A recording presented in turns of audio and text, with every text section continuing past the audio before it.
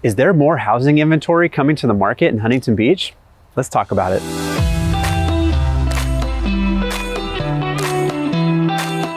In August, we saw exactly 100 new listings come to market. That's down 26% compared to this time last year. The number of closed sales were also down, about 7.5% year over year. Homes in Huntington Beach are selling on average in two weeks, oftentimes even less, which is down 56% compared to August 2020. Inventory is down 40% compared to this time last year, but 27% higher than last month. Is there more inventory to come? Word on the street says yes. Now the average price in Huntington Beach, it's up 16% year over year. The price?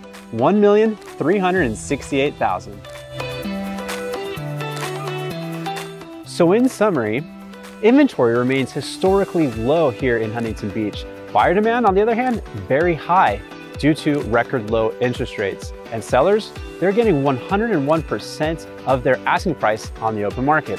So if you're looking to buy, sell, or invest here in Huntington Beach, I'd love an opportunity to assist you, and I'll see you soon, HB.